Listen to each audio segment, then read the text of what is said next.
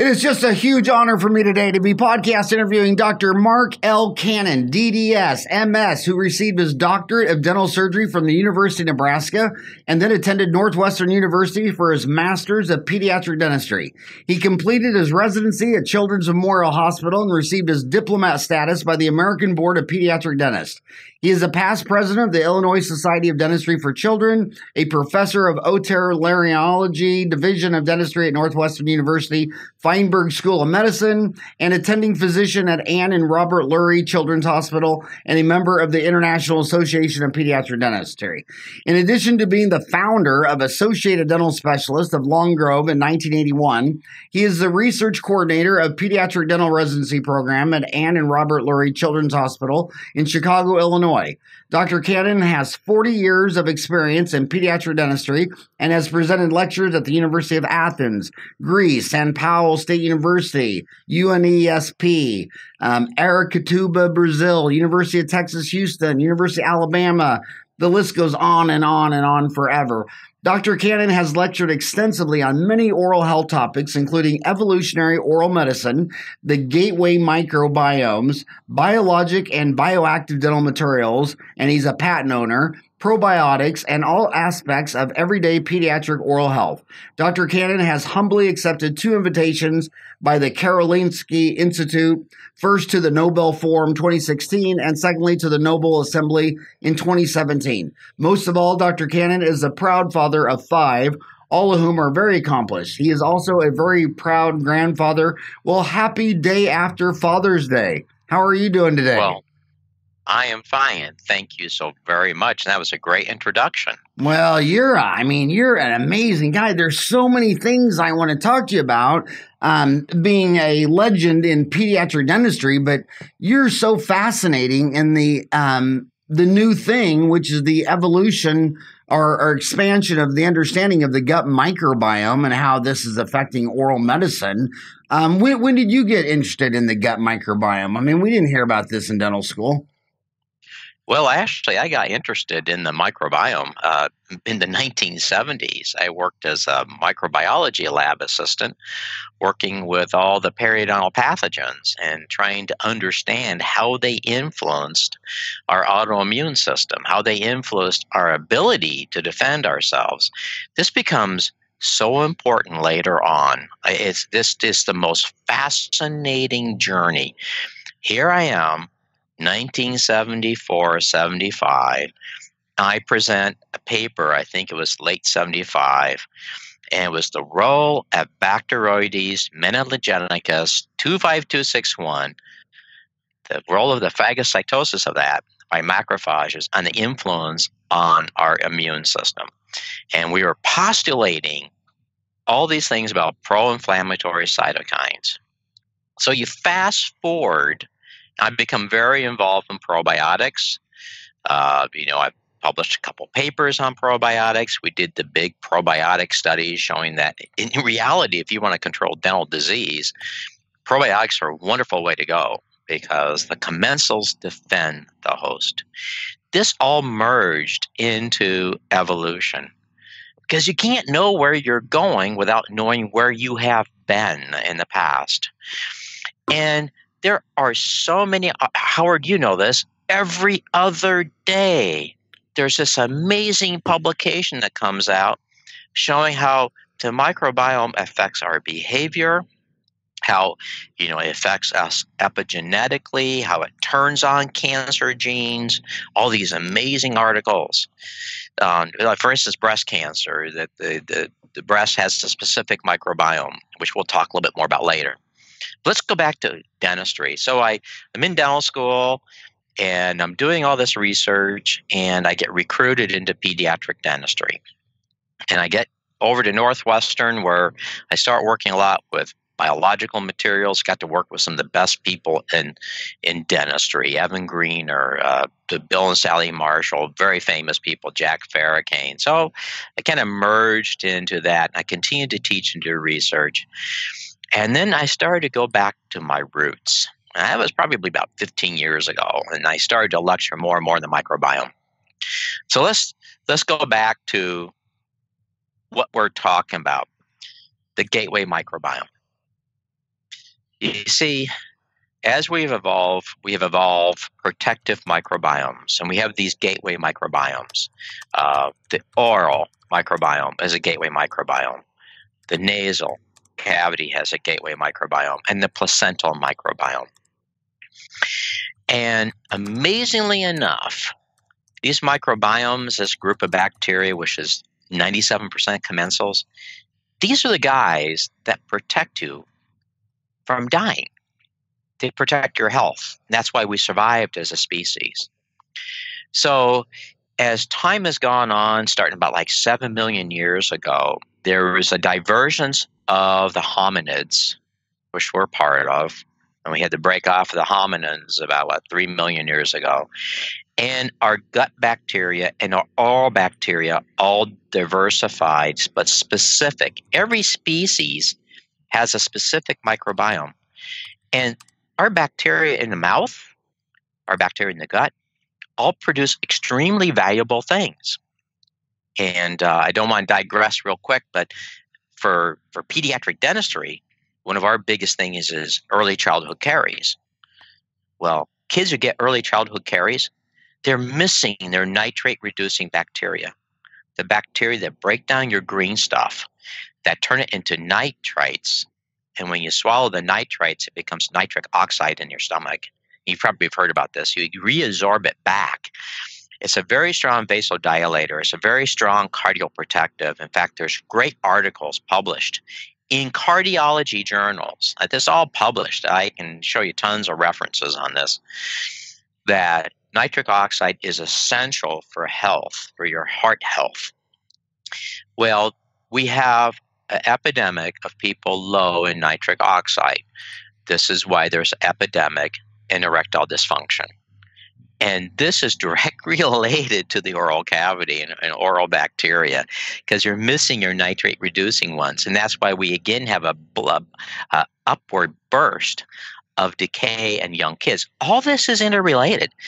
You know, I, I, mentioned before we got on how I'm a member of the American Academy of Oral Systemic Health. Well, everything's connected. So this gateway microbiome in the mouth protects you with all these positive bacteria. Strep, uh, strep uberis kills strep mutans, so you don't get decay. Strep salivarius kills strep pyogenes, so you don't get strep throat. So all of dental disease is a dysbiosis It's not enough of the good commensal bacteria and too many of the pathogens. And everything we've been doing, which is shocking to me, is we've been killing the good guys. Most of the mouth rinses on the market that are antiseptic, they kill the good guys. They actually make you sicker. Now, here's just the shocker, but there's a good seven published articles on this. If you use a chlorhexidine mouth rinse, your blood pressure goes up significantly within one day. If you do what? If you use a chlorhexidine mouth rinse, your blood pressure goes up significantly in one day. Wow. Because you kill the bacteria that are producing the nitrites from the nitrates, and you don't have a good enough level of nitric oxide, which leads to erectile dysfunction, periodontal disease, more decay, cardiac issues, and of course, issues with airway. Now, we've got to get back to understanding the value of the gateway microbiomes.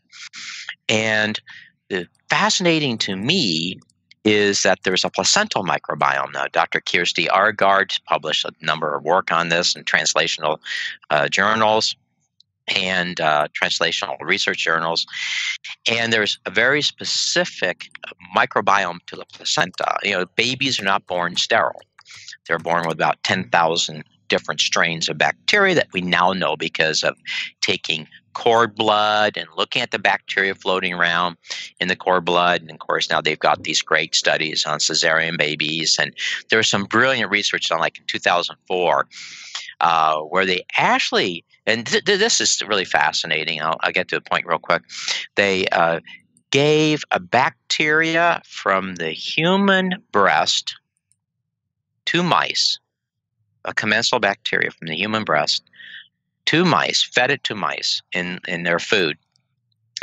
And these were pregnant mice.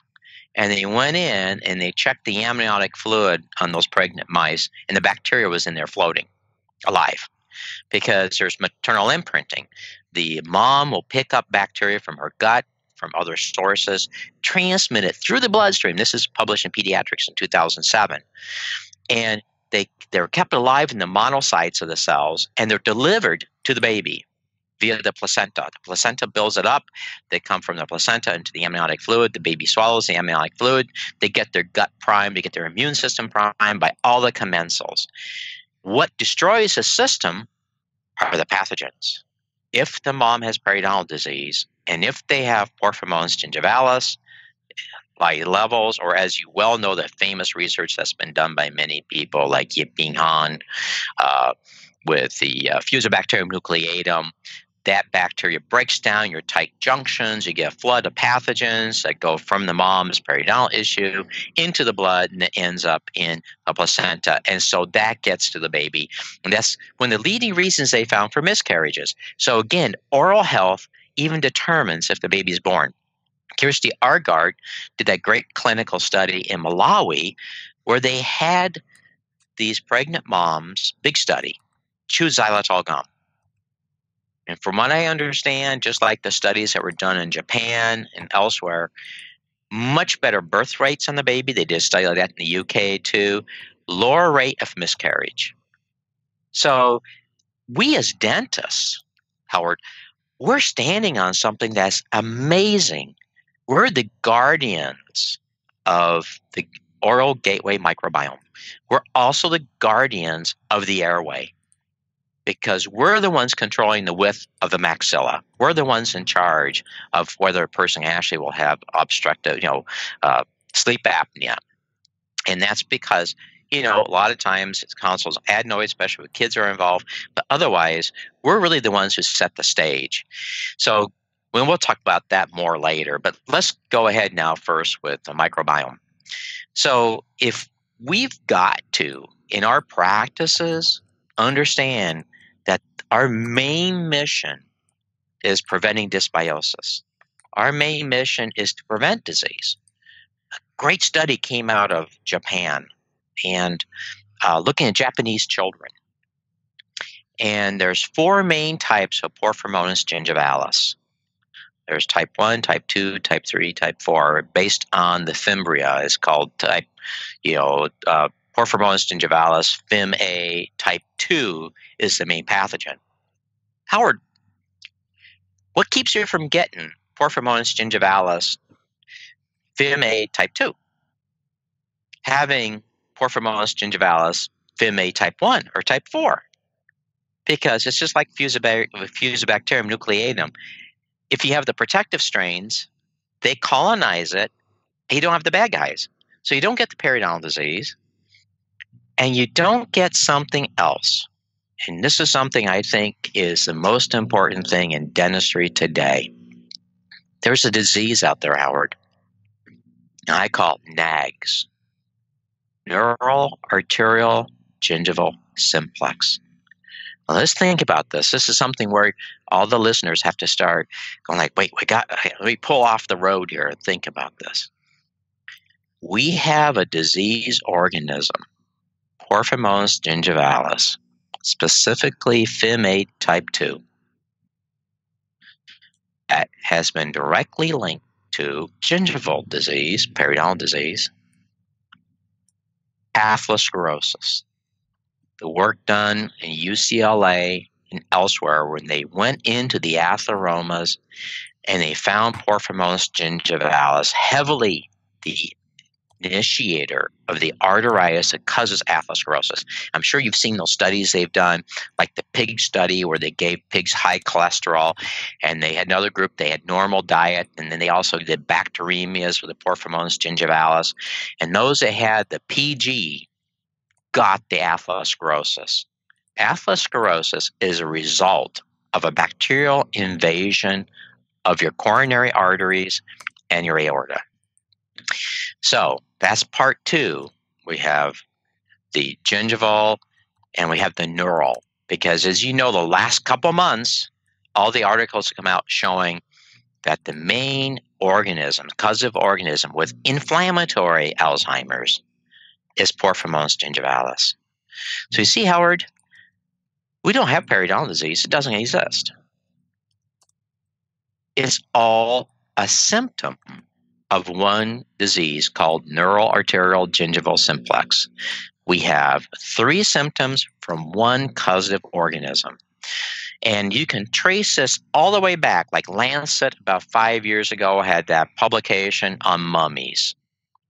And they looked at mummies from 4,300 years ago, and they did CTs, and they found atherosclerosis. Okay, they go, oh, and their conclusion, there's about 20 authors on this, was oh, there must be, quote, a basic predisposition to this disease. Howard, if you looked at CTs, they obviously didn't have a dentist on that author list. They all had periodontal disease. When the first Norm Bridges was done about 4,500 years ago on a mummy, because if you look at all those mummies, they're like missing their lower incisors. They've had remodeling of bone because the teeth have had to been removed because of severe periodontal disease.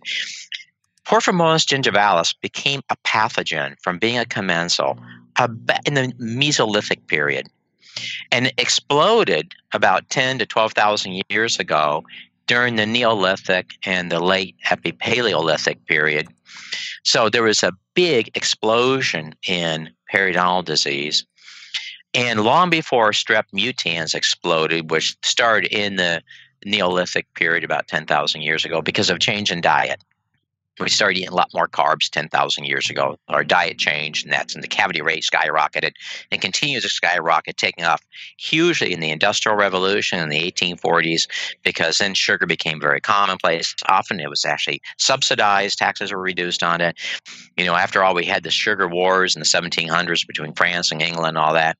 And then we had this next revolution, which I call a fast food revolution, which is because so many issues. But all these carbs are feeding all these pathogens, and these pathogens are creating this huge systemic health issue. And in dentistry, we're looking at the dead canary because we're like the coal miners carrying around a canary in a cage, and all of a sudden the canary drops dead, and we go like, "Oh, let's let's put a fake canary in." So we put a wooden canary in. That's our that's our dentures. Those are our crowns. That's our fillings, because we got to make that canary looks like it's alive. But how are those? Those are all dead. I mean, that's the beginning of the end for the individual, the host, because it's like if you came down with rotavirus, you wouldn't say, Oh, I have headache disease, chill disease, fever disease, diarrhea disease. You would say, I have a rotavirus infection. So, using the same logic with all our patients with periodontal disease, they don't have just periodontal disease. They have NAGS, neural arterial gingival simplex. And the sooner we can convince our profession and insurance and governmental agencies that we're looking at a national health crisis that is 100% preventable, you can block Porphyromonas gingivalis. You can block Fusobacterium nucleatum. They're both very sensitive to polyols. They're very sensitive to erythritol and to xylitol. And so there's many other pathogens too. For instance, uh, you, you, had mentioned Nobel, and the the invite by the Nobel Committee on Medicine and, and Physiology came because of research we had done at polyols at Northwestern University and Children's Hospital. And supposedly, uh, I've been told this, and I can't find anything to the contrary. I was the first dentist ever invited by the Nobel Committee on Medicine and Physiology and it was because of work we had done on polyols showing that erythritol and xylitol, which are used in many dental products, um, are capable of blocking the microorganisms that are involved with autism and autistic spectrum disorder. And there's a lot of gut microbiome stuff with autism, which you know I do a lot of research in and the uh, we got a great study going on right now with the microbiome, the oral microbiome, and autism. So we have all this going on, and one of the things we tested was not just the Clostridia involved with autism, but the Clostridia that involved with C. diff, C. diff, uh, uh, Clostridia difficile. And we had two strains of C. diff. They were the two biggest killers in Chicagoland. And they're extremely sensitive to xylitol. So you can have a 10% xylitol drink, and you have to remember your toothpaste is 20% some old xylitol. and Your mouth rinses, your the xylitol mouth rinses used are over 20% xylitol. They're extremely sensitive to it. I went lecturing. I lectured some up in Canada, some other places. They got really excited. So many parts of the world now, not so much the United States. Isn't that always the case, though, Howard? Yeah. You're nodding your head. Yes, I can see that right now.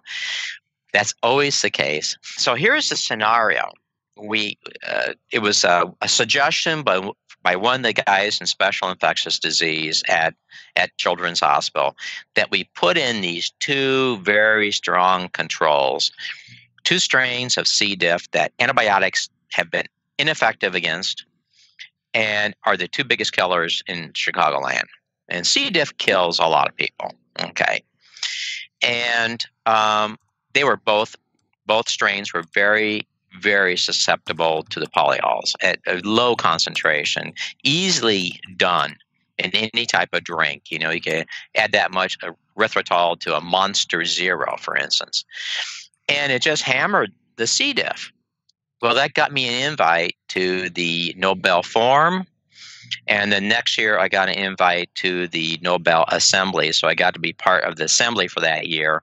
And it's just a year. It's not. It, it's. I don't want to over overstate it at all, overblow it. But it was interesting being the first dentist to be part of the Nobel Assembly and all that. And but the thing that was interesting is in discussion with people at the Nobel.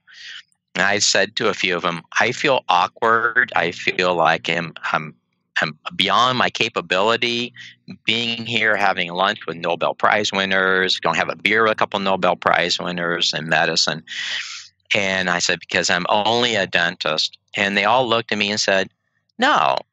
I mean, because he says the, the type of research you've done and your contributions are enough that if you, and in fact, they used my research as an example of how you could come up with something that is so simple and inexpensive and can save so many lives. You know, almost as many people die from C. diff in the United States as uh, as will die on the highways. It's almost the same number. So it's an amazingly simple thing to do and so safe. So I'm really kind of excited to be part of that. Um, so we've been using that very same principle now looking at the effects of xylitol and erythritol, we know very small amounts of it will actually have effect in the biofilm in the mouth. So far, we've seen no negative effects whatsoever from it, just reduces decay. And of course, we're hoping we can use it to fight NAGS, that neuroarterial gingival simplex, which is one of the biggest things we have to do. We have to convince everyone that when you see your dentist, they're working hard to prevent heart disease. They're working hard to prevent diabetes. They're working hard to prevent inflammatory Alzheimer's. And those visits are extremely important. So, anyway, Howard, that's that's the beginning of the evolutionary oral medicine phase. We have seen these changes go on in mankind. We have all these environmental influences on our microbiome, really sets up the placental microbiome, which sets up the fetal microbiome, which sets up the development of the human. And during every stage, every fetal, the developmental stage, uh, from embryo on up, from like 24 days on up of development, bacteria influence the development of that baby. And it's very important. So uh, I strongly encourage that people would really work hard especially with women of childbearing age, to make sure that they have the appropriate oral microbiome and that you use a good amount of polyols to prevent these issues that we run into uh, with the pathogens. You know, there was now, a, in in MD magazine, uh, there was an article, "Dentist to Blame for Increasing Spread of C. diff." Um, because of use of uh, overuse of antibiotics, and they got a lot of quotes in there with a lot of really smart people. Um, do you think dentists are still overprescribing antibiotics and wreaking havoc on the gut microbiome? Well, there are some people. Um, I, I am very upset about that. We have had patients who've been referred in because they have uh, cavities, little kids, and they come in with a script that was written for amoxicillin, and there is absolutely no value in doing that whatsoever unless you see a big roaring infection. There's no reason to use uh, antibiotic, and again, we, we mentioned autism and the research on autism, um, the big studies they've done, the Danish hospital registry studies, they've shown there's an increased risk of autism in uh, kids whose moms have been prescribed antibiotics even up to five years prior to the pregnancy. It takes about five years for you to regrow your Oxalobacter formigenes bacteria, uh, Oxalobacter formigenes is the only bacterial species that breaks down oxalate for you. Uh, humans don't break down oxalate just like humans don't break down gluten. Gluten's digested by your oral bacteria. Um, it's really interesting. Uh, Harvard did a lot of research in 2014 where they found 150 strains of bacteria that break down gluten into non immunogenic uh, 16, 17, and 33 MER peptides. And it's really funny that people think because that's those developed after we started eating grain. We got those babies after about twelve thousand years ago. The Natufians started to harvest grain, and and hey, Howard, how's this for a fun fact? Why did the Natufians? Because they have good evidence for this. Why did that? Those people, twelve thousand five hundred years ago, now in the area of Syria, where they have a big dam and lake, uh, Lake Assad's there uh, why did they start uh, stay in an area for rye and barley? There was two main reasons. One was climate change. Climate changed significantly back that time. Uh, Syria was a forested area; it turned into a desert. And meanwhile, Europe, that was covered with glaciers, the glaciers all melted, full of Neanderthals. You know, Neanderthals actually were dis- disappeared before that. But the Neanderthals loved living up north because they could their airways did a good job. They're well suited for living north. Um, the uh, the climate change they had to go into oasis which means they had to go from little tiny little tribes into building themselves into actually little cities of like 5000 but it was to make beer so beer created civilization about 12,500 years ago. I'm going to I'm going to back up to let, something you said earlier about the nitrous oxide producing bacteria and how it's um, that affects cardiovascular disease. I think it's very interesting that when um, I was taking snoring classes, that when you're coaching professional athletes, you always got to get them to quit mouth breathing and breathe through the nose because right. when you breathe through the nose, yes. you form nitrous oxide. And ever since I learned that, when you're watching like the NBA finals or the most elite athletes have their mouth closed at all time, and then I noticed that people that are um, marathon runners around here in, in, Phoenix, some of them to train will put um, the electrical tape, the big old ma- yes. duct tape over their mouth until they just get through. And they said that they totally, after a minute, they can fill it. I want to ask you one before we get sidetracked. Oh, here, going back to that real quick. Yeah. The other trick on that is people put, they take a, a sip of water and they put the water in their mouth and they don't swallow it. And they run with that water in their mouth until they get like down uh, past the top of a hill, then they swallow it and that way they're forced to nasal breathe, and that keeps your mouth nice and moist inside. Um, that's another trick that's used by marathon runners. And uh, yeah, you're right. Nitric oxide is uh, production. You get more of it by breathing through your nose. They've done great studies on that, where they put tubes in your nose and they check how much nitric oxide is produced, and they check against mouth breathing. Um, the other thing, going back to those top athletes, every type of athlete has a very specific microbiome. For instance, long distance runners will have a different gut microbiome that contains 22 completely different phyla from a sedentary individual. Hey, Howard, guess what those bacteria do in the gut? They're in the lower, uh, large intestine, lower part of the, the gastrointestinal tract. They break down what we would call indigestible carbohydrates. So when you eat something that's full of fiber, they'll be breaking it down many hours later for additional energy. Hey, you know who else has that? Hunter gatherers. If you go to Africa and look at the microbiome of like the Hadza tribe, their gut, they have the same gut type bacteria that break down, or they did some famous stuff in Burkina Faso showing that the people in the African village have the, the gut bacteria that can break down, quote, complex carbs, indigestible carbs. They break it down. So you could you were getting energy from Amelia eight eight hours earlier, man. Isn't that amazing? That's I'm why uh, they run. I'm all Irish, and I had my gut microbiome tested, and it can only break down potatoes and Jameson whiskey. So that's I'm limited to that diet. Hey, what do you think happened to the Neanderthals? That that's a big debate going around, and the Denisovans. Do you think they just they genetically we just married them, absorbed them, or do you think it was a Yes, violent and there were- encounter and um, it was war? No, the, the most recent research shows that their genes were weeded out. And what happened was there was a lot of intermarrying. In fact, they found even from like 45,000 years ago, they found an individual that still had up to 9% uh, DNA from Neanderthals. My, I have about a little bit over 4% of my DNA is Neanderthal. Same here. I have 200. I have about 277 variants that are Neanderthal based. Uh, thank God, I, I got a couple of good things from my Neanderthal uh, origins.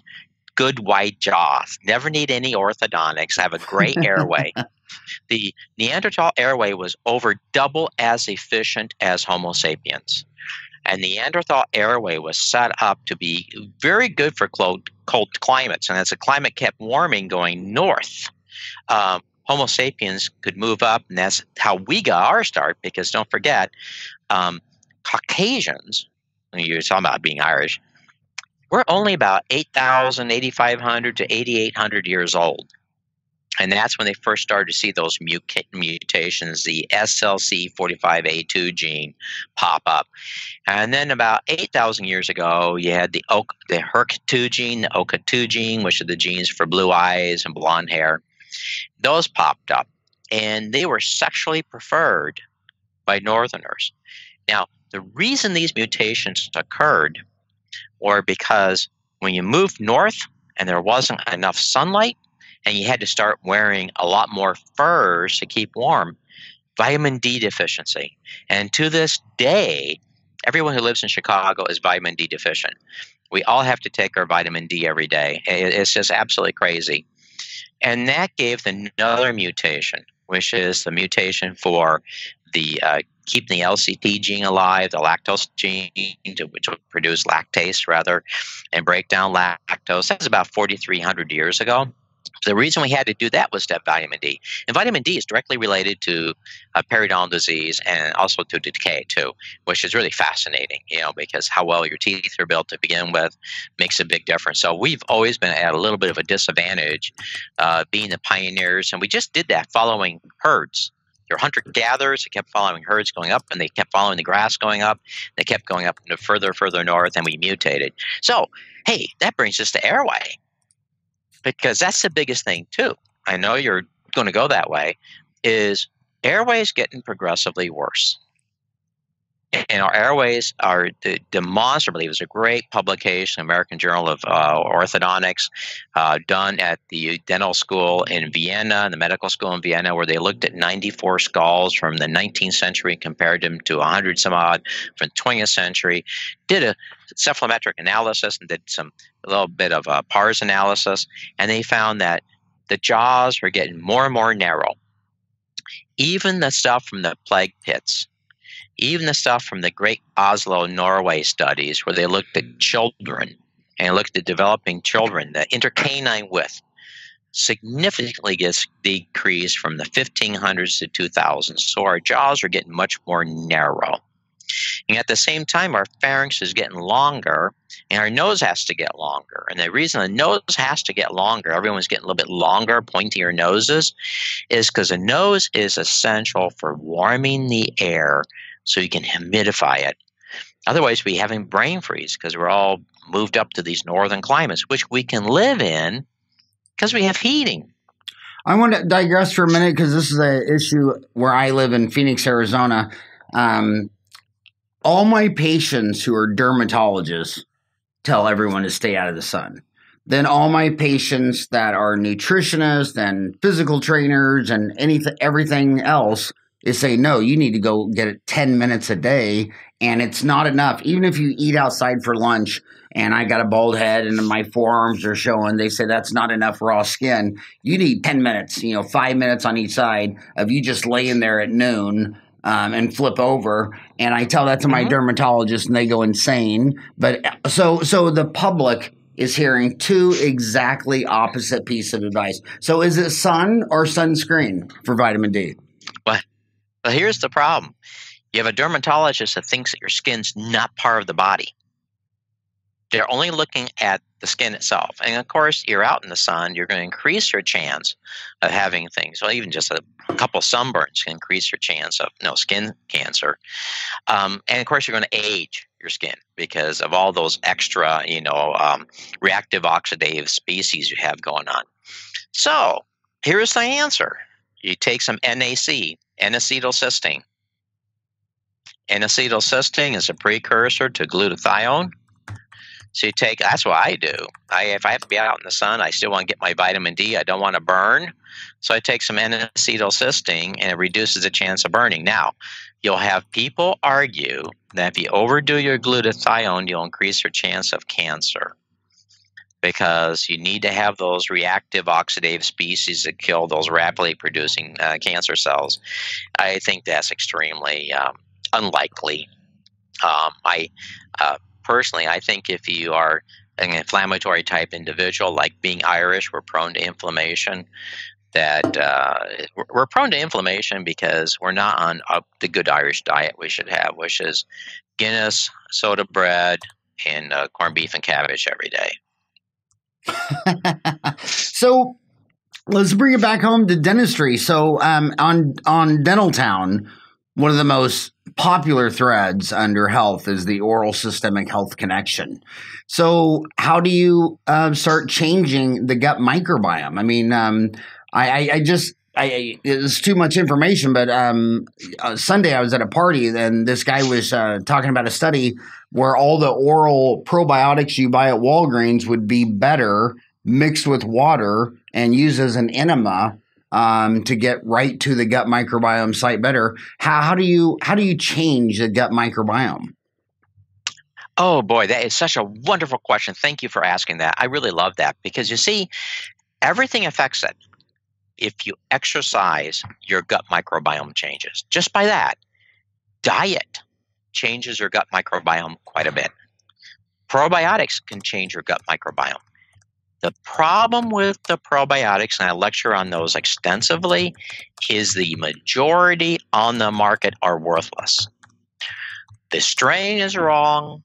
You don't need that strain. You already have that strain. You're missing something else vastly more important. You're missing Bacillus subtilis. You're missing Clostridium sporogenes. You're missing something you're just not getting because you know you're talking about tens of thousands of strains of bacteria most of them are not the right strain. They might be the right species, but they're not the right strain. You know, you have the species, let's say uh, Lactobacilli reuteri, and there are several known good strains, but there's some that probably do nothing. Uh, the gut microbiome can be a little bit resistant to change too, so you may have to do all three to get to where you want to be. Now, have you done the American Gut Project yourself, Howard? The American Gut the, Pro- I did the 23 yeah. and me. And by the way, by DNA. the way, yeah, by the way, I was like 4.5% Neanderthal. Does Neanderthal is Caucasian is that term kind of lost now because it makes more sense to go to DNA and say that that you and I are um part Neanderthal. We're just hybrids. Yeah, no, you know, it doesn't really matter because there's eh, they they found the, a lot of Neanderthal genes in Asiatics too. So um, in Asia, so um, the they basically they've done some computer modeling on this. The Neanderthal genes, uh, where they were strong, they made the hum the Homo sapien hybrid weaker, like slower um, because Homo sapiens could run much faster than Neanderthal, and running is very important in escaping being a prey or being a predator is very important. Uh, Neanderthals could not throw a spear as well as Homo sapiens. So basically, there was also this Homo sapien men were felt to prefer Neanderthal women. But Homo sapien women did not did not prefer Neanderthal men. And that's a very, very important gateway for an extinction of a species uh, of a species, right there. So you know the Homo sapien men were often chasing Neanderthal women at the same time Homo sapien women, whereas Homo sapien women just did not like the Neanderthal men, and so that was a gateway stopper right there. That's another postulation. I don't think they'll ever be able to prove that but that's just one of the things they think. So the airway thing was interesting too, because like, thank God, you know, you and I, we probably got a little bit better airway from that Neanderthal. I hope so. The Neanderthal. It made me short. That's one of the things that 23andMe showed. But American Gut Project.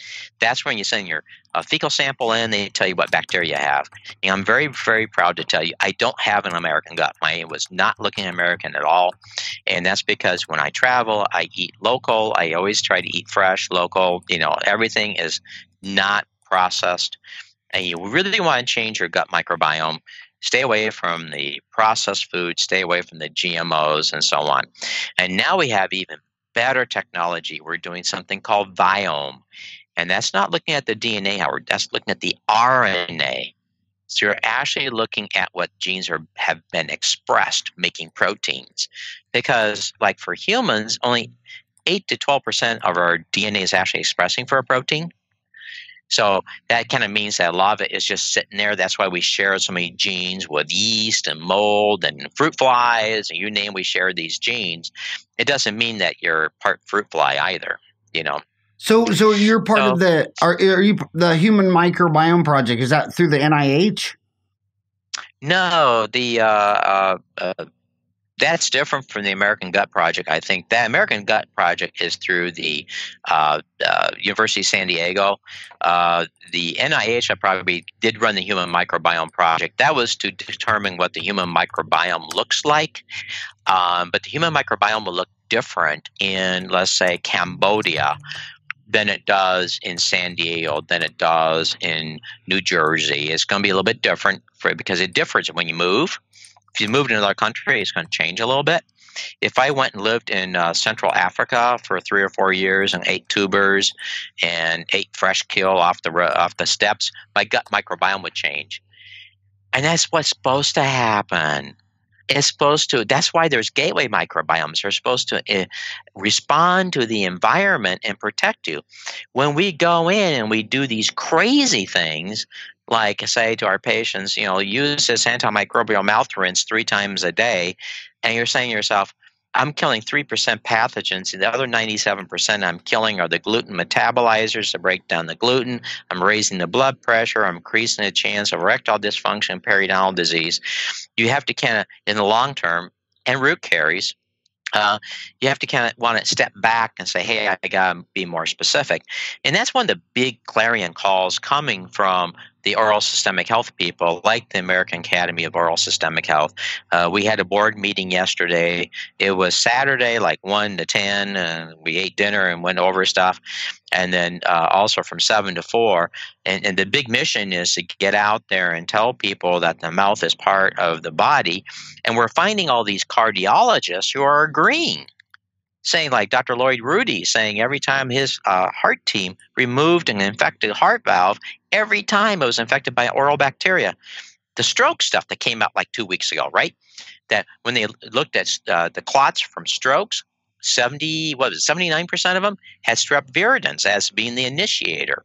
So you see that the oral bacteria can cause a ton of disease, and that's why they knew about oral systemic health going back all the way to Ramses II. And after the Battle of Kadesh, there was a wall mural you can see in, in Egypt where all these Hittite prisoners are on their knees and their hands up and their mouths are wide open.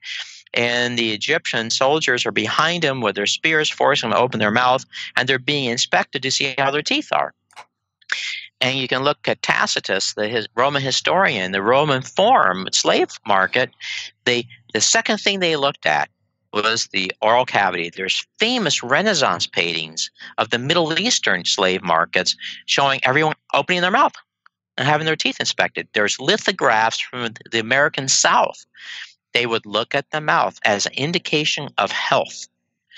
And uh, even at Ellis Island, they did the same thing. There's some great stuff by G.V. Black about that. So um, let's get back to the wisdom that our forefathers had to know the mouth is part of the body, just like the skin's part of the body. You need to have these nutrients. You need to have good probiotics. But to know which probiotic to use, you have to know which one you're missing. You have to know which bacteria you're missing. It could be Oxalobacter formigenes. It could be the bacillus. Now, how do you get bacillus? Bacillus pumilus, bacillus sub- subtilis. Well, every time you buy uh, chicken now, they've been giving them lots of bacillus subtilis because that's how they're raising them without antibiotics. It makes the chickens healthier. You don't. They don't need to have antibiotics. And when you eat that chicken, you're getting some bacillus subtilis because that is a ground organism that the chickens used to get from pecking at the ground to get the bacillus subtilis. And that is the famous probiotic that the Germans used in World War II in North Africa to save their men. This is 1941. Germany, Nazi Germany, gave the Afrika Korps Bacillus subtilis. It's a famous Bacillus subtilis story to save their men's life from dysentery in World War II. And I keep saying, if we've known this, like Metchnikoff in 1907 saying there's many positive bacteria, then 1908 who wins the Nobel Prize for phagocytosis research. If we have known this for well over a century, Howard, why aren't we adopting this? Why aren't we realizing that there's a strong oral systemic health? Why aren't we utilizing the probiotics and the polyols to maintain the health of our patients? You know, I, I mentioned that study we did with probiotics. That was the most effective way. We had 60 kids that we started off with that were extremely caries prone. Three years later, we got like 53 of them back, and only four remain caries prone. The rest of them have been turned around with probiotics. And we published that. And, you know, people are still going like, well, probiotics, uh, it has to be a good probiotic. Now, those are two very good probiotics, by the way. They weren't the junk stuff you see. Uh, yeah, this stuff is unregulated. There's a lot of stuff that's not real probiotics at all, and that's what's giving everything a bad name. Uh, so it's it's it's like this one study on, on probiotics and yogurt. Howard, it's it's funny. People quote that all the time, saying, "Look, these people who use this yogurt, they actually gain weight and they had other issues." And then you look at the the yogurt they used, it wasn't a real yogurt at all. It was one of these artificial things, and it was full of high fructose corn syrup and everything. You go like, I wonder why they gain weight. They're adding all these extra calories per day. well, I was I was very surprised just recently, right here in my backyard in Phoenix in Scottsdale's Mayo Clinic, and they started doing fecal matter transplants. So oh, this oh, yeah. is this is really a thing where people are so serious about you know you say change it with uh, diet, exercise, and probiotics. Yeah, yeah. And a big probiotic now is fecal matter transplants. Do you call it? Do you oh con- yeah. Do you consider that a probiotic, or is that? Oh yeah, because you're actually you're giving them probiotics from someone else. Now, the, the, there's two great studies we can talk about on that. One, it was done at the Academic Medical Center in uh, Amsterdam, and what they did is they called out for volunteers. They had people come in. They classified them as to being diabetic, pre-diabetic, metabolic syndrome, overweight, underweight, normal weight, and they collected their fecal matter, and then you came back and you received someone else's. It was random. Everything was randomized. So you came back as a volunteer. They were amazed how many volunteers came. And if you were a metabolic syndrome or a pre diabetic and you got a fecal transplant from someone who was normal, you know, normal blood sugar and everything, uh, normal insulin sensitivity, you know what? It, you got cured. It's a great study.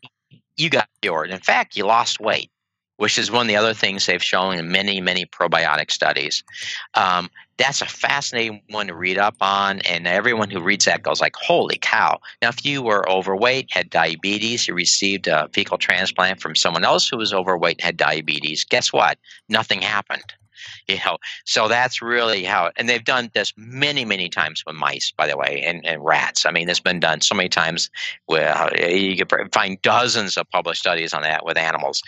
The other big one is at the Karolinska Institute under Tore Midtvedt. They've done all these great studies, human studies, and they have this capsule that has 200 uh, strain of positive bacteria that they've been giving to people who have all sorts of issues from uh, depression, anxiety, everything. Everything gets better. Everything gets better. Um, neurological symptoms go down. It, it helps everything because it boosts your entire immune system.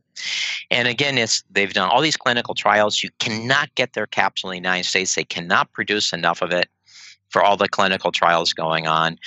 And I have to tell you that that came from the Eve Project, Howard, where they went in, and this is what they've been doing in these other countries because they can. They have National Health Service, they have these huge data banks. So they data mined everyone in Sweden who'd never been sick. Then they contacted them and they checked to make sure all their visits were well visits only. Never came in sick. They found a whole group of people who'd never been sick, no cancer, nothing, not even a cold and they found these people always lived in a rural area or on the sea or up toward a mountain someplace and they always ate fresh food and they always they, they could eat a ton of butter but it was fresh butter everything. And they took their fecal samples and they kept kept them alive and then they kept checking it for any changes and they kept checking the patients to see if they ever got cancer or anything and how their health would be maintained. And from that great project brilliant research, a tremendous amount of work. They have their fecal sample, which is just awesome. So that's so, the route we're going. So, friend. so you were saying though that in order to change your, uh, in order to talk about probiotics, you first need to know what's in your gut microbiome. So, are you recommending to dentists listening to this that they should send their poop into the uh, the um, American Gut Project to find out what it looks oh, like? Oh yeah, yeah, they can do that, or even better, do Viome. Uh, Viome, B I O M E, is the one that uses the RNA technology. And that RNA technology tells you everything that's being expressed. Now, we've done that for myself. I have for my poop. You get back tons of information. Just amazing what you get back uh, because it includes the viruses and everything the yeast, the mold, the viruses. You get all the information what virus you have in your gut. Uh, but we're doing oral virome, biome, and mitochondrial swabs on my patients with autism. We have an IRB approved study uh, where we're testing the patients we have with autistic spectrum disorder because they have a completely unique microbiome, oral and gut, of course. The oral determines the gut. And uh, so much so, you can diagnose autism with an accuracy of over 96% by just taking a sample of their saliva and checking the microbiome in the so mouth. So you said use Biome. Is that Biome Makers Viome. in uh, in uh, Sacramento, California? Is that Viome? No, it's Bi V V as in oh, victory. Viome. I I O yeah. V as in victory, I in Irene, O as in Omar, M as in Mary, E as in English. Oh, okay. And then, um, so you can um, contact them at Viome. They have some specials where you can get it. Uh, yeah, like over Father's Day, it was like $149 for having a complete gut thing. And in the future, for dentists, every patient will be doing oral one in the future, very, very soon, and we'll be doing the cheek swabs and looking at mitochondrial health because you can look at that mitochondrial DNA and see if they have the novel biomarkers for periodontal disease and for atherosclerosis, which, by the way, Howard, they're the same 12 novel biomarkers. Atherosclerosis and periodontal disease has exact same 12 novel biomarkers. Now, now, how much of the how much do you think of this is um are my are is dentistry. I mean, there's two million dentists around the world. There's two hundred thousand in the United States. What percent of the dentists are buying into this, and what percent of the dentists do you think uh, think this is bleeding edge, not leading edge? This is uh, hokey pokey. Um, it's going to need well, another uh, decade or so to to to. The jury's still out. Where where where do dentists well, sit with this? Well, there's like over 26,000 published articles on probiotics right now. If you go look at PubMed, there's over 2,500 clinical trials, and the vast, vast, vast majority, in the high 90 percentiles, are positive. you have to look hard to find a negative one. Uh, and when you do, you can find all sorts of errors in their methodology, which is really fascinating. Um, and how can you not, when they have known for thousands of years the connection between oral health and systemic health, how it's just like denying that the world is round.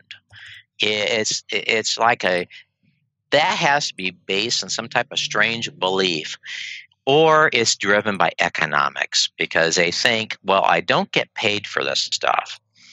But the reality is, if you have a practice and you believe in total health care for your patients, the patients know it and they are loyal to you because you don't try to sell them anything. You just tell them this is what you should do. I tell these kids all the time that that come in with their little ones i said what are you doing for your own health? Are you drinking kefir? Because here's a classic study that came out of finland. The mom's microbiome determines what type of breast milk she produces for the baby. And if the breast milk if mom's microbiome is wrong the breast milk is wrong the baby has a hard time feeding and they get colicky so hey you want your baby asleep you have a good probiotic. I recommend for a lot of people they use like Lifeway kefir. I, you have that down, right? Right. Well, why? Why is why is that kefir taking off so much? Everybody down here is talking about it. Well, because it has twelve very positive strains of bacteria there are very high amounts. You get about 20 billion CFUs with about a cup of it every morning, and it's it's their live bacteria. And you want to make sure that you keep the kefir for a while, so it has the bacteria have the chance to digest all the sugars that are in there. And by the time you drink it, everything's broken down. I mean, it's basically lactose free and everything. And it's just a healthy way of doing what they've been doing in in uh, Bulgaria and other parts of the world, Greece for like two three thousand years, and uh, it's uh, always positive to have good bacteria that are there, the lactobacilli.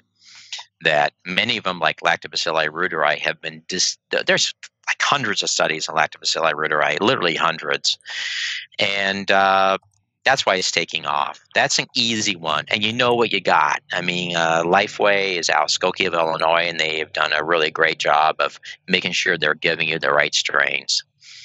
So that's why it's taken off, Howard. So, so they, so the dentist should, um, listening to this, should stop eating processed food and eat whole, you know, biological, diverse bacteria food. Yep. They should exercise mm-hmm. more. But back Absolutely. to, but back to, you know, let's uh um, talk about some dentist, and he's older.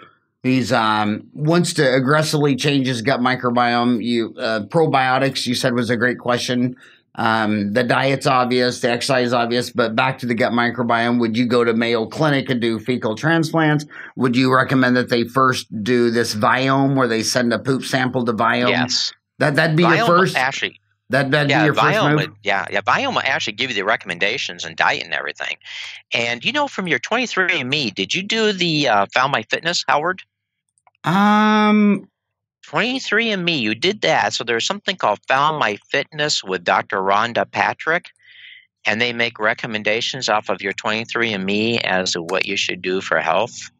Huh? I did not. I did not see that. So is that your? Um, is that the bio uh, DNA sampling place you like the most? Twenty three and Me. Is that? Uh, I think that's Google's I, founder's I, wife. I liked it so much I gave it as gifts to people. yeah, I, I, did too. I did. I did too. Yeah, yeah, I think it was one number one gifted things because uh, to me, uh, uh it's got to be somewhat accurate because I have a family history that my family has kept going back unbelievably far. You wouldn't believe if I told you how far back. It was handwritten and passed down from great great great grandparents and so on, and uh, and photos too. Photos that go way back to the Civil War. Um, the early photos, like Mathew Brady type photos. Um, so the um, the funny thing is, what 23andMe said match 100% the family history. 100%. Right down to every date was exactly correct. Now, I thought that was fascinating. Huh. That, that, that is and, and then you also talked about uh, dental decay and some of these um, um, sugar free um, substitutes trying to reduce decay. But are, are you a fan of that or not? Oh yeah, I'm a huge fan of, of xylitol and erythritol. You can uh, has many anti-inflammatory things, and erythritol and xylitol both are very strong uh, inhibitors of not just strep mutans, but more importantly of the biofilm formation. It breaks up how much the plaque changes the type of plaque too. It changes the type of byproducts in the plaque. Well proven, many articles on that, and then inhibits the periodontal pathogens too. Uh, Porphyromonas gingivalis, Fusobacterium nucleatum. So it goes right down the line, and it barely inhibits the lactobacilli. And most of the lactobacilli, it pretty much leaves alone. And those guys, uh, what leaves alone are the who's who's of probiotics. So you, we finally have something that's a smart kill on what we want to get rid of, and it leaves alone the lactobacilli paracasei to prevent cavities, because you want to make sure you leave those guys alone. You want to leave alone the reuteri and the rhamnosus and all the other good ones. Well, I think a lot of dentists are listening to this podcast that are pediatric dentists because, I mean, you're uh, gloriously recognized uh, pediatric dentist for 40 years. Um, what, what, do you what do you think about your profession in pediatric dentistry four decades after you walked out of uh, Northwestern? Well, I got recruited by one of the founders of pediatric dentistry, Dr. Ralph Ireland, who told me uh, he took me in his office and said, I want you to be a pediatric dentist because we have three obligations to practice so we know what we're doing, so we can, number two, teach because everyone had an obligation to teach at the time. We were told we had to teach and practice, and three, do research. He called the three horsemen of pediatric dentistry. You have to do all three. I took it to heart back in what was it, 74, 75. 1974 1975. And I've been doing that ever since. And uh, that was before we had all this economic pressure from um, uh, insurance companies and PPOs and DMOs and DSOs and you name all the alphabet out there. And of course, uh, I've seen the uh, government assistance programs going from actually paying for procedures to paying for absolutely nothing and then uh, we we're in Illinois, so we're the we're the state where last year for a patient we might receive a check for twelve cents. So you're we, you're, we you're in Chicago. there, there was another pediatric uh, dentist, legendary Fred Margolis. Um, we had him on the show uh, 107, and then he passed away. He was kind of really introducing lasers to pediatric dentistry in your mm-hmm. backyard. Mm-hmm. Did you know Fred, and what did you think of that? Oh, I knew Fred very, very well. I knew Fred very, very well. And and do you and we use lasers? Go ahead. We use lasers a lot for soft tissue. Um, I actually did the research on that um, and uh, in biomaterials, and I actually prefer using ultrasonic dentistry for that. Um, it gives a better bond. It's uh, more precise using ultrasonic dentistry for the exact same thing he was using the laser for, uh, and um, so that's uh, that's where I stand on it. And I know Fred did sadly pass away, and um, uh, he is someone I would see all the time at meetings. And you're also in the same city as Lynn Margulis, who uh, was a, an American evolutionary theorist and biologist. I mean, she was a legendary in everything you're talking about. Um, were you familiar with Lynn Margulis and her work in Chicago? No, I really did not ever meet her. No, I did not ever meet her. And uh, my stuff all got started being driven by the microbiome because, as you know, in some very, very top journals, and including the Journal of Microbiology, they've had these great articles about the holobiome that the host, the human in our case, and our bacteria, our symbiotic bacteria, form one giant genome, which they call the hologenome. And the bacteria genetics drives our evolution. And it does so first by having an epigenetic effect. So my way went the other way. I went from microbiome into more genetics because the epigenetic effect. And then that influences us genetically by the constant turning off and on of genes changes our evolution. I, I want to go to the the oral uh, biome. Um, in your profession, the most controversial thing that's came came to it is the silver diamine fluoride, and some mm-hmm. people say you're you're tipping the the um, the oral microbiome to where it's slowing down the rate of infection so slow that the pulp is laying secondary dentin in the baby teeth and it's not causing an abscess and other people uh, say no you need to do a pulpotomy of chrome steel crown. Then the pediatric dentists who love it are saying yeah but this two year old would require to be go to an or with an anesthesiologist and that's a high risk dangerous procedure. And then and then when they start fighting bloody on dental town then it comes down to uh, well mark you're just saying that because delta will pay you so much money more for a pulpotomy and a chrome steel crown or medicaid or whatever and they're not paying me anything hardly to paint on this silver diamine fluoride. It's so complex, but it's so emotional. It's the only thing I've seen at a dinner party at a bar where you can lead to profanity. And I've seen that a few times between pediatric dentists. Where do you sit on this whole that rant? Where where where if you had well, a couple of beers, how would you chime in? I tell them the research that we've done. And we've done actually a good amount. In fact, we developed a new cytotoxicity testing method just to look at the cytotoxicity of silver diamine fluoride. So here's the important thing silver diamine fluoride is very valuable, but it must be used by someone who knows how to use it. So, a pediatric dentist who's looking at this kid and they have these lesions and they can't get them into the OR for any reason. I mean, it might be a reason where it's not just the cost, it might be your operating rooms are backed up for six months, or you're, if you use mobile anesthesia, maybe they can't come to your office for three or four months.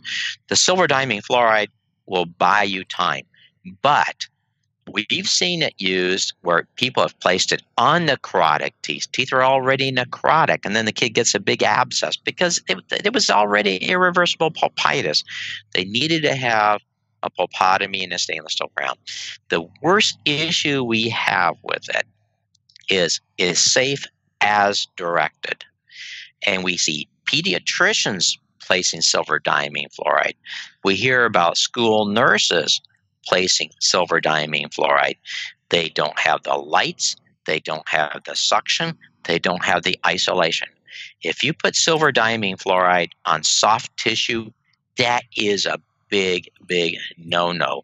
We showed significant damage to fresh dermal fibroblasts, and we have actually presented this at meetings saying, okay, it's like anything else. You wouldn't let a pediatrician do a pulpotomy. You wouldn't let a pediatrician place a zirconium crown. Pediatricians should not be using silver diamine fluoride. They don't have the training, they don't have the expertise, and if you can't handle a two or three year old child, you shouldn't be using it.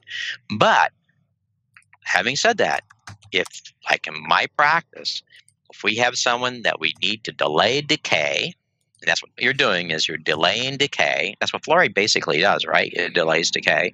There's all these great studies showing that fluoride takes decay that would have happened from zero to 10 years of age and pushes it 10 to 20 years of age. Decay that would have happened from zero to 20 pushes it 20 to 40. That's why by age 65, 98% of Americans have fillings, is it pushes it back, which is fine if you all died at 65. But I'm be I know you're under 65, Howard, but I'm over 65. So See, I, I, I break the mold there. So the thing with silver diamine fluoride is you do have to re- reapply every six months, so it should be done by qualified dentists. And um, yeah, I can see everyone's point of view because yes, I've had kids come in with abscess teeth, and the teeth have silver diamine fluoride on it. That was poor choice. That was poor case selection, poor use of the material. It'd be just like if I tried to place a gold foil in the front tooth of a two-year-old. That's just not what you're supposed to do. So, what advice would you give to the young? Uh, uh, you did pediatric dentistry for four decades, and we just had a whole graduating class walk out last month. A pediatric dentist. Um, what what would you tell them? What would you tell the young kids? Uh, um, oh, I what, tell what them advice would thing. you give them? I was I, I, I lectured on this about what 12, 14 years ago, I gave a presentation at the American Academy of Pediatric Dentistry meeting, and I called it Standing at the Crossroads and you know there's a picture of the crossroads. I said we can go one way or the other way.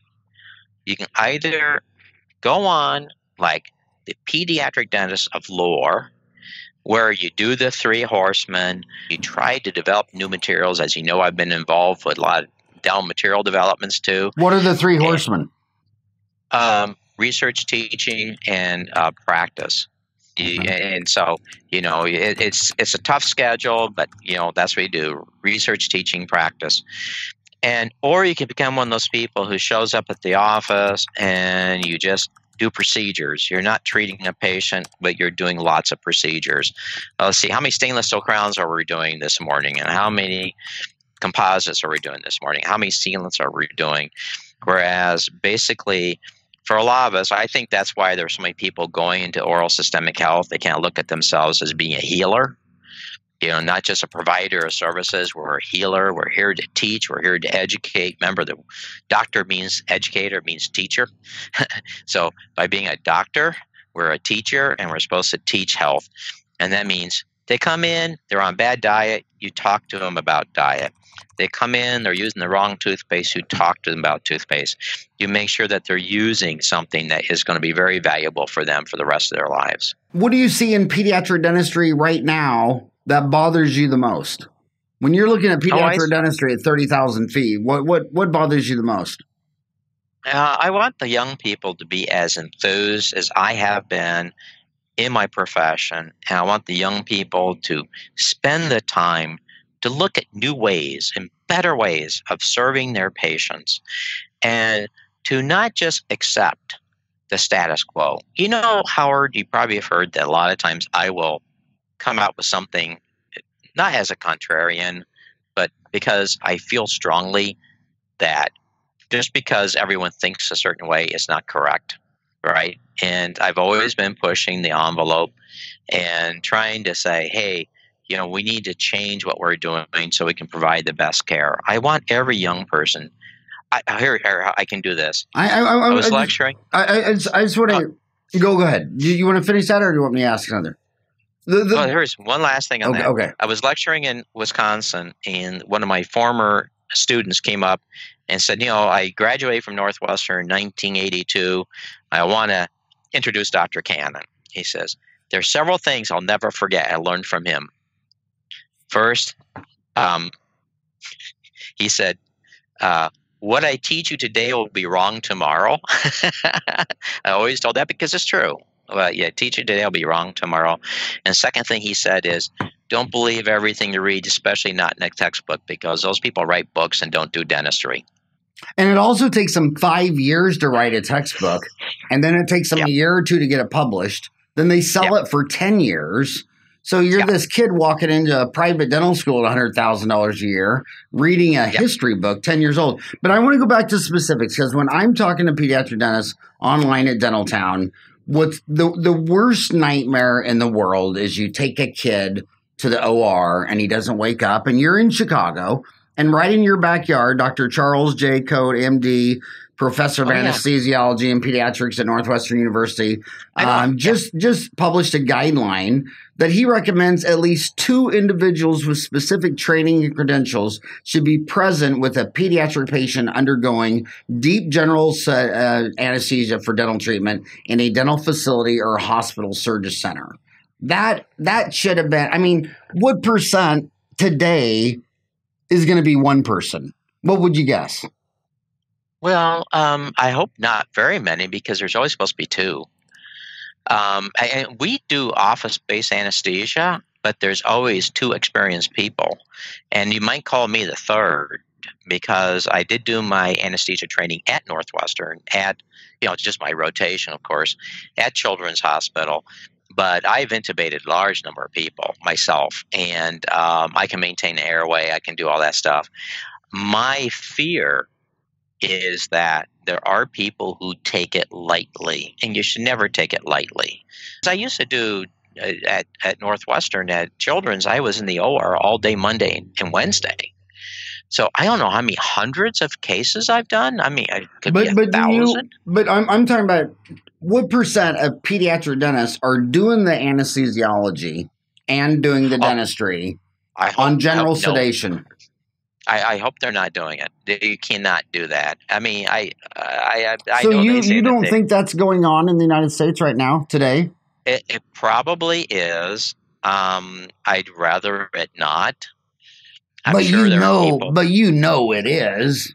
Yeah, I just don't know what the percentage. I, Right, I, right, I don't right. know anyone who does that. It's the I- same thing I- with antibiotics. The old guys, I mean, I have so many adorable dental friends that are grandpas, and you, they still every single root canal. Pen VK, 500 milligram, 28 tabs, 28 tabs, uh, 16 tabs of Vicodin, and they're not going to change. So these younger kids are coming out of school, and the most stressful is when you come out of school and you're going in to work with your beloved mom who's a dentist or dad who's a dentist, and they're doing these things like the general sedation while they're pulling the wisdom teeth on a teenager or a, ch- a two-year-old, uh, you know, and they're giving uh, a round of antibiotics and Vicodin after every root canal or extraction, Yeah, and it's just um. So uh, so looking at that data, I'd want to see: Are we talking about a young millennial, or are we talking about old grandpa who needs to be retired off to the golf course as soon as possible? Uh, but you know Charles would Cote, and you, you agree with all of his work. Well, I, I have to tell you two things on that. Number one, I'm a grandpa. Okay, I got two grandchildren, and um, there are elderly people, and, and we're young yet. Howard, you and I were both very young. Um, we can we we keep to, up to date. I mean, I keep up very very up to date, and I, I I'm sometimes I'm shocked when I'm talking to uh, a young graduate who doesn't know anything, and it's new or modern, like you said. They're they're sometimes they're being taught by faculty who are, should have been retired years ago too. Um, the, the second thing on that is um, uh, oral surgeons are probably the biggest number of people doing deep sedation without someone experienced with them besides them. And they have been doing that for decades. So I don't think that's going to change. I want. I want to ask. I want to ask you another dentistry uncensored, uh, controversial deal. I just. I'm, I know there's a lot of pediatric dentists listening to this deal because I'm going to call you out as a pediatric dentist. Um, first two words of the the podcast, so I, I know they're going to listen to it. And the other big stress they're having is this vaccination deal. Some pediatric dentists want to have a sign that says, "We do not accept your unvaccinated child in my office," because they don't want any um, thing going on. What would you think if a young pediatric dentist in Chicago said, I'm going to put a sign on my door and we do not want unvaxxed kids in our office? How does that sit Well, with you? Here's the problem I have with this is that the, that decision was not made by the child. That decision was made by the parent, not the child. And you can never punish ethically a child for bad decisions of the parent. So, and every parent does have a right to determine what their child has. So, if like I raised five kids, and I would feel extremely put upon because I'm naturally a libertarian. If someone told me I had to, for instance, take my child to do a certain procedure, and I felt that was not an American way of life, we've got to be Americans first. We have to really respect and honor the freedom and the sacrifices people have made to give us the freedom to have freedom of choice and not live in the gulag atmosphere.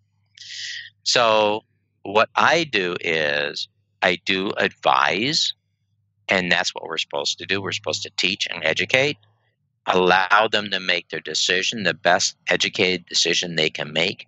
But if that meant turning away a child in pain, turning away a child with an infection, I would not do it because now you're punishing the child for a decision made by the parent. It's So, the sins but it's the, same father. thing. and- But they, they always say it's the same thing where you see all these school districts now from New Zealand to Australia to all, all around the world saying your kid can't come to school if it's not vaccinated. So that's kind of a backdoor approach of government forced vaccination against your libertarian views. Where where do you stand on that? Do you think that do you think Well, school systems can, can do that? Here schools that say that, for instance, and there are states that have different laws. Every state in the United States has different laws in dealing with it, freedom of choice, and so on. But the school is optional. You can opt out of the school.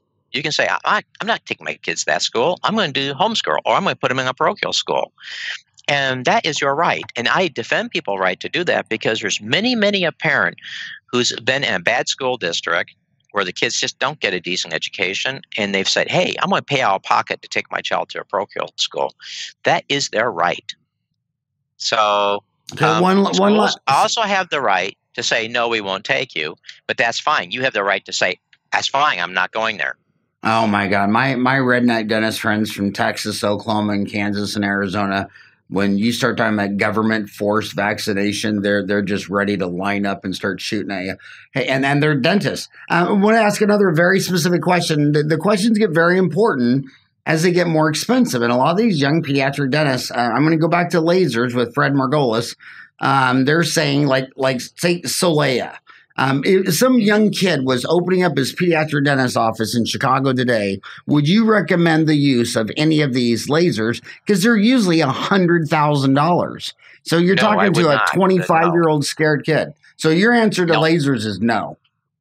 No, I would I would get a soft tissue laser. Definitely, you absolutely, absolutely, positively have to have a good diode laser, like for frenectomies and and uh, frenulectomies. I do a lot of laser procedures. Give a name uh, brand. They, they, want they always want name brand. Oh, I, I, use I use the KaVo diode laser. You can't buy it now. at The 980.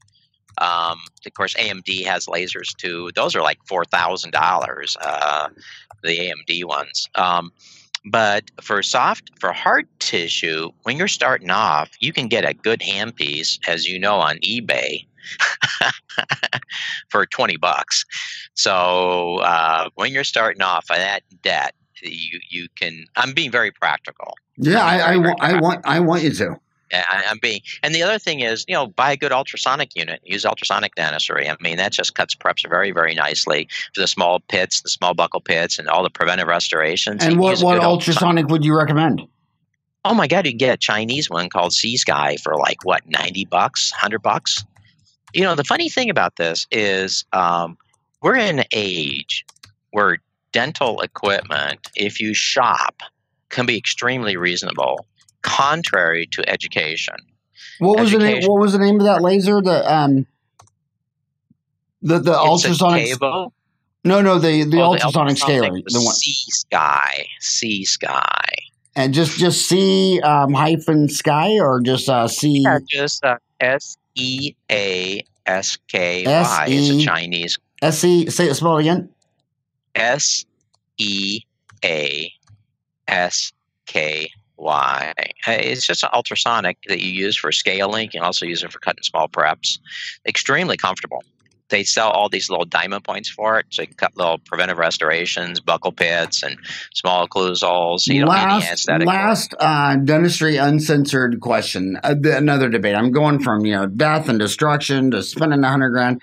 Um, there's a lot of dentists who, a lot of pediatric dentists who tell me they do not believe in sealants anymore. You're taking technology to acid etch and bond to dentin and enamel, but you're acid etching pits and fissures filled with Oreo cookies. And they see that so much research shows that half the sealants fail the first year, they all fail the second year, and they would rather just do a preventative resin restoration and clean out the pit and fissure. And basically, you're doing an occlusal composite, which they say in five years, 90% of them are still there. So, are have sealants gone extinct and replaced with preventative resin restorations, aka an occlusal composite? Well, what they're basically doing is what I do anyway. I I take that ultrasonic and I use a very fine point to it, and I clean out all the pits and fissures. And then when you do the sealant, it'll last much, much longer. And the other thing is, I hate to say it, but I have lectured on sealants, and I've had people come up to me afterwards saying, We have a high sealant failure rate. They're all done by my dental assistants. And one person said, Hey, I actually timed how long they were etching. It was seven seconds. You cannot etch enamel in seven seconds. And this is part of the big, they, they average the etch time, the biggest issue. The other thing is there's many different types of sealants. You know, if you use on patients who are young patients a hydrophobic sealant material, and this is throw out from Ultradent Ultra Seal, it's very hydrophobic. Um, then you would have to use their primer beforehand because there's always moisture left in the pits and grooves. Good research on that. So when I did a sealant study back like 15 years ago, and we used a flowable composite and we cleaned the pits and grooves and we etched for the full 30 seconds and rinsed for 20 seconds and cured for 40 seconds We had 96% stay the first year. And Wow. after even three years. So it is very technique sensitive. Now, that was not very realistic how we did it. So, what we use in the office is we use a hydrophilic sealant material, which is from Pulpdent called Embrace. It's a hydrophilic resin. If there is moisture, so we get a secondary etch, so it, it is not repelled from the moisture deep in the pits and grooves. It actually soaks into it and does a secondary etch in that because it's a self etching type material because it is a very acidic hydrophilic material. You like cure that and you make sure you do it for 40 seconds, not 20. There's a reason why. I won't, it takes too long to talk about it. But then you'll find we have a very high sealant retention rate. Ours is much, much higher than what they have. But they're using the wrong materials and they're not watching the etch time. Uh, we actually had an independent observer come in to watch us do sealants. And one of the things they commented on is you guys etch for the full 30 seconds. You also agitated the etchant, so you got a good etch. Whereas if you don't do that, if you don't agitate the etchant for the 30 seconds, they're going to pop off, dude. So You're where, where is a year. where is uh, Sky Sea? Where where is that located? Where where are they making all these? Sea uh, Sky or uh, did you uh, say Sky I- Skiers? Sea Sky, Sea Sky. Oh, okay. It, it's it's. I hate to tell you this, it's eBay. I'm gonna have every dealer call me. yeah, yell at me eBay, eBay's eBay's selling it, but where are they making uh, Sea Sky? Oh, um, China, China. All that stuff's made in China. Everything you buy is made in China. Huh. So is it the Sea Sky Group?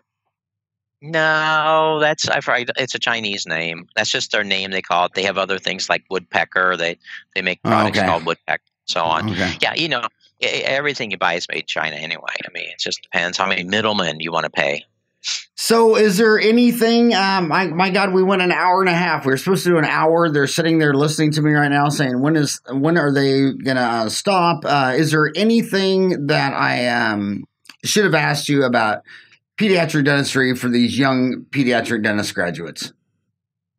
Well, I would say there's about a dozen things, but that would take us the rest of the day.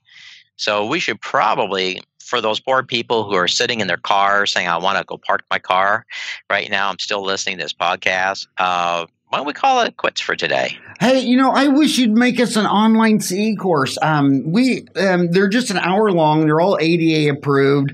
We put up 400 courses, and they're coming up on a million views. The, these millennials, um, you know, it's it's low cost. It's it's only an hour. You would raise the um, the profile of our prestige by having a course on from the legendary you. Uh, do you think you'd ever make an online uh, course for Dentaltown Sure, on sure, let's do it.